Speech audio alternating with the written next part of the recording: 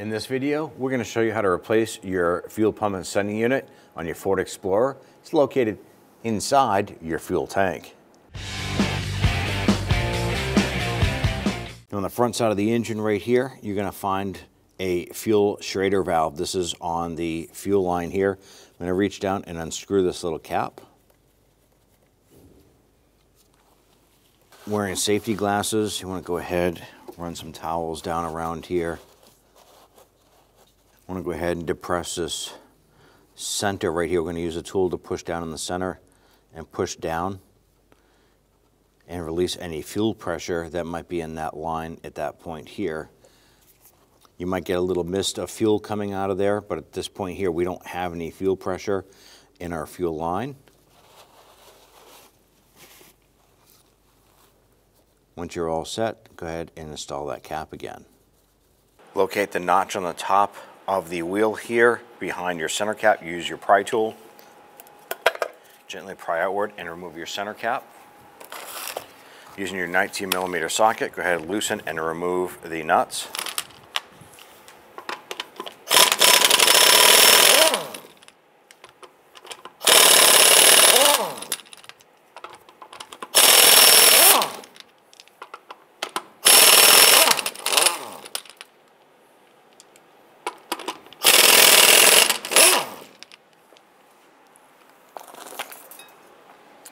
Go ahead and grab that wheel.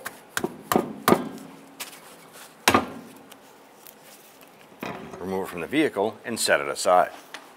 Now before removing your bolts on your skid plate, you want to go ahead and get some sort of jack or something underneath to support the shield. It is heavy, it's a little complicated to handle as a one person deal and you don't want to drop this on you. So we went ahead and put a jack underneath this here. Let's go ahead and remove our bolts. We're going to remove these two bolts holding the front side of our gas tank skid plate.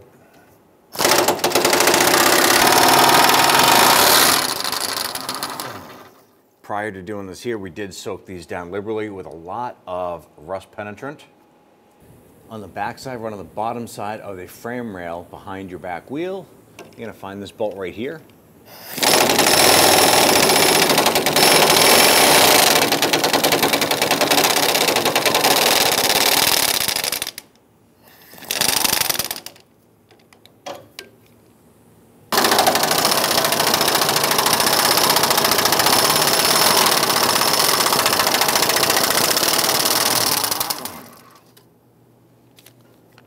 Go ahead and lower your jack.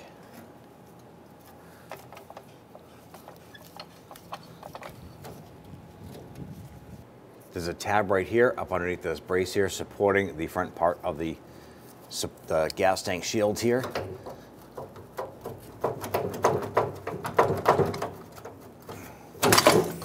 On the front side here, we have two 18 millimeter bolts. Before you remove these here, make sure that you reposition your gas tank jack underneath the vehicle.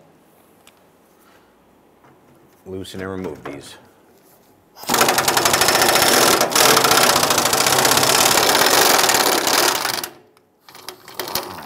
In order to get this bolt out, we did go ahead and pop off the little retaining clip right here to get a better shot at this.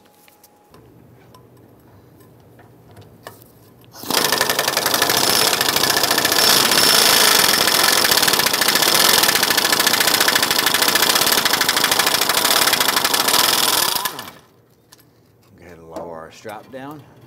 Using our quarter inch socket, we wanna go ahead and loosen these clamps holding our fuel lines to the tank.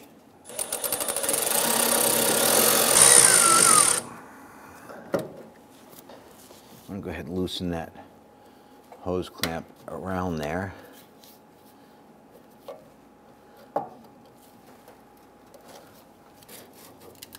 And a little bit of effort twisting and back and forth and pulling it will eventually get these off.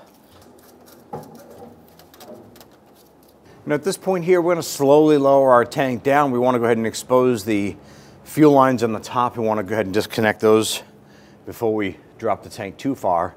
But now we can go ahead and slowly lower this down a little bit at a time, giving us access to those lines.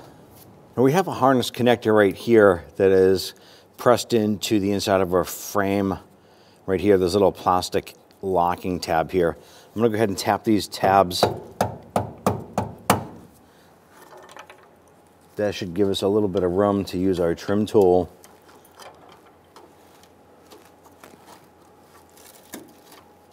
Here to go ahead and pull this out.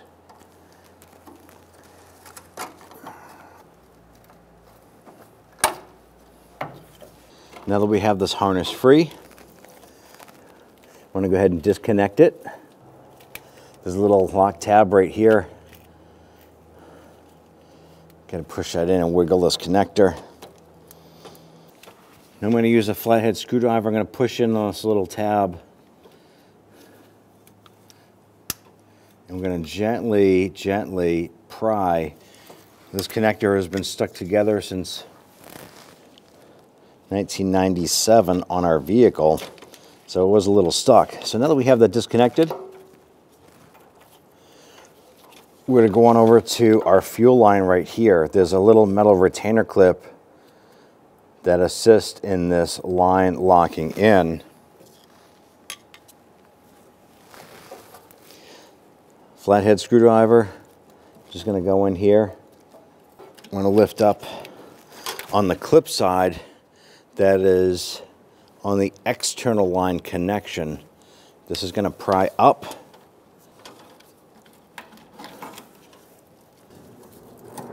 And there's a locking clip, so we're going to pop that off like so.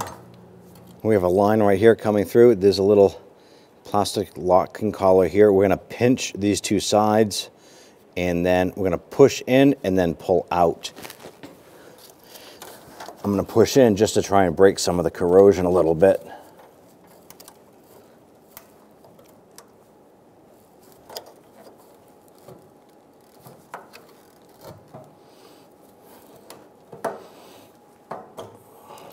That off like that. Now right here we have one of those special tools here. It actually releases the lock collar on the inside of our fuel lines here. You're want to have these available what you do is you slip it over. So I do this one here. Slip it over the line, push it back into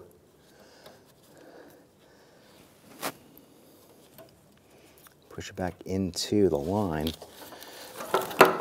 I'm try and pop this one off here.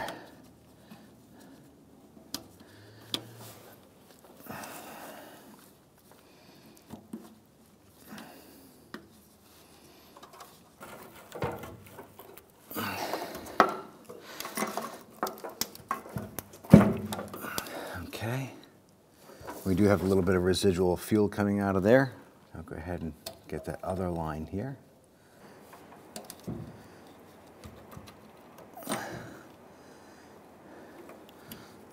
There's our second line. And pull off our clip. With everything disconnected, we can now lower the tank.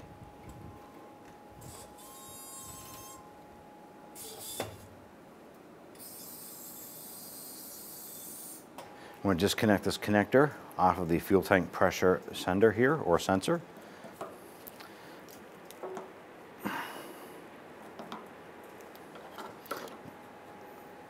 Go ahead and work that off. Now we have a series of bolts across the top here. These are all eight millimeter. I'm to go ahead, loosen and remove these here. Now before doing this here, we did go ahead and use our wire brush to clean off our brass bristle brush because we don't want to create any sparks here. We cleaned off the scaly ruster on the top of our tank. Yours may not be like that, but if so, you want to keep any debris from falling down inside the tank once we remove the fuel pump and sending unit.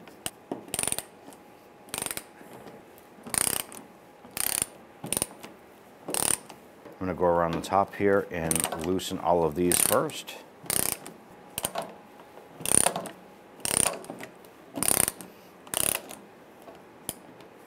Now that we have them all loose, let's go ahead and spin those out.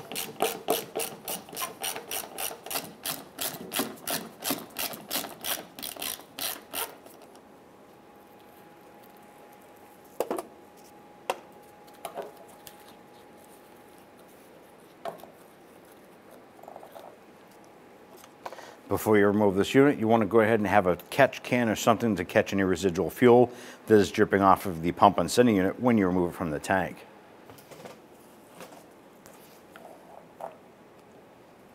Go ahead and lift up on the unit.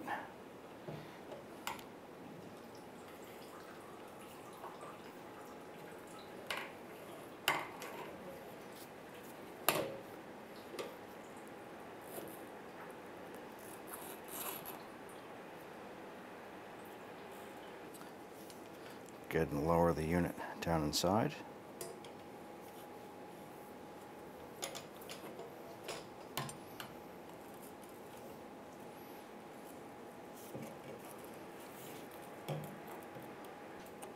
Now that we have this lined up, I'm gonna go ahead and make sure that these little nubs are up. That's the basically our rubber seal inside. I'm gonna go ahead and get all of our bolts started by hand first.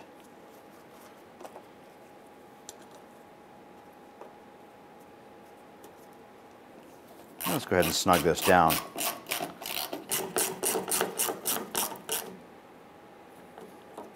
You can feel the bolt snugging down. You can almost feel the gasket seating as well as you snug these down.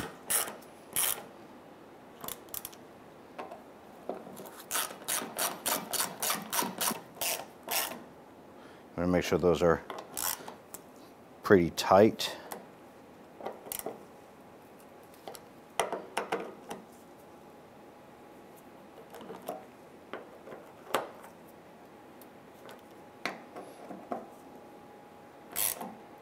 And just one more time around, making sure that this is sealed.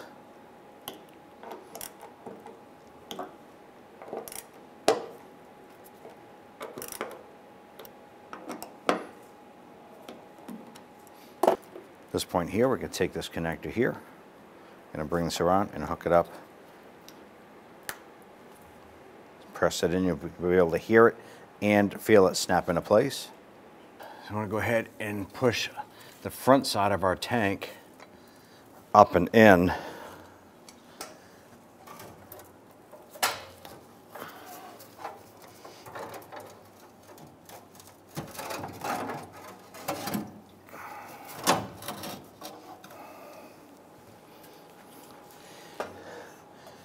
Raise up the back half.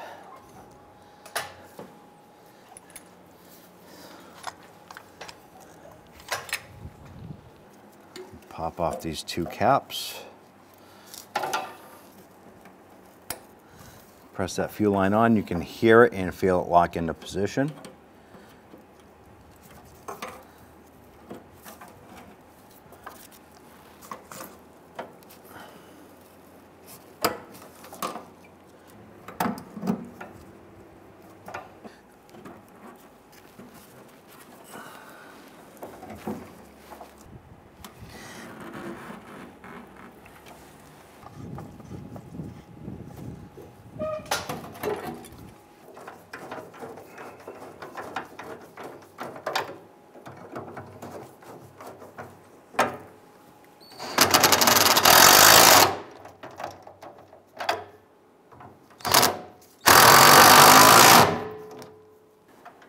And I press this clip back on. Let's go ahead and get this bolt started here.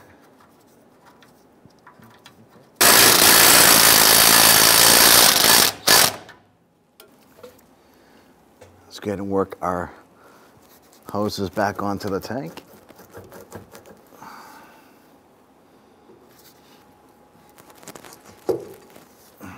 And once those are fully seated, we're gonna go ahead and tighten down those clamps.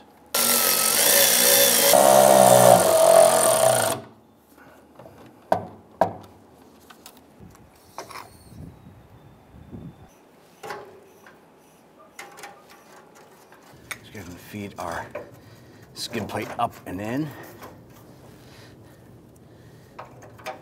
What I wanna do is grab the two front bolts and at least get those started by hand.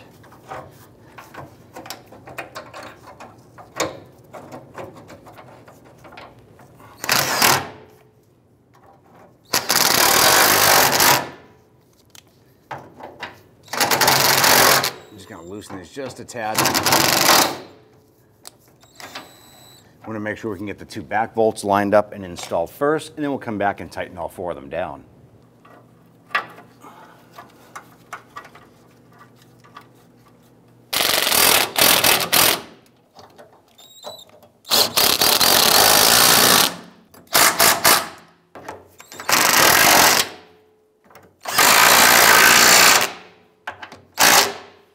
Once that's all set, I'm gonna remove our jack lower the vehicle down, put the back wheel on, and you're all set.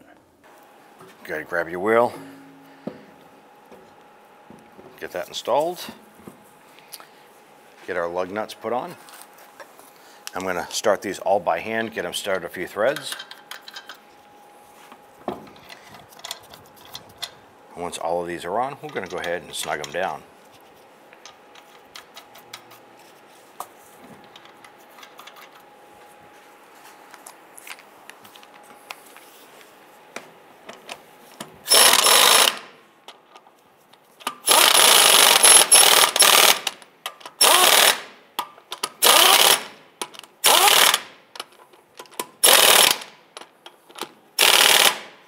Go ahead and torque down our driver's side rear wheel here to 100 foot-pounds.